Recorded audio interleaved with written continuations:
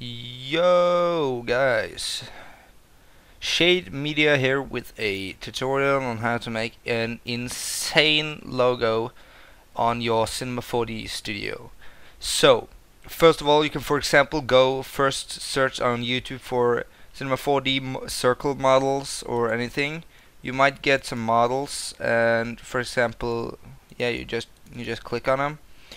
Then you get into it.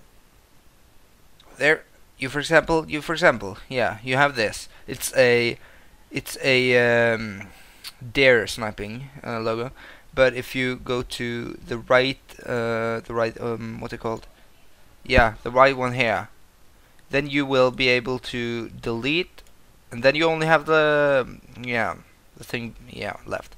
So what you're gonna do after that is you're gonna go to MoGraph mode or no actually you can just pull up another Lightroom with a 3D text already set up then if you if you like hold all of it and copy then you can just yeah then you can just change something then press X then you will get back to this.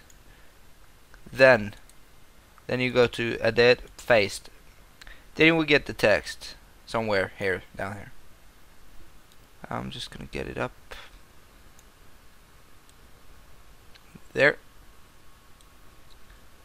and for example first thing you might want to do is you're gonna change it somewhere I don't know let's do there for fun. And then like you can change the um, font to whatever you want. I'm gonna go with X X fiction. Then you might wanna get the text a little smaller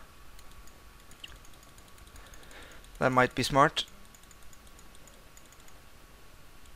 Zoom in. Then just adjust the type of how you want it, you know. There, for example, um, then, for example, you can drag it longer into the picture to make it look, I don't know, more real.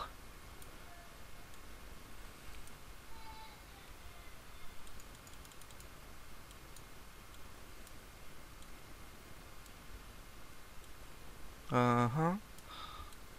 It should go a little bit out on the sides there. There. Then you can just, you know, adjust anything you want.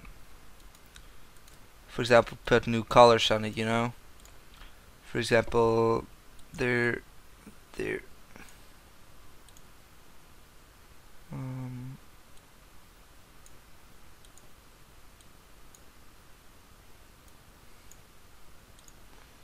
Um, yeah.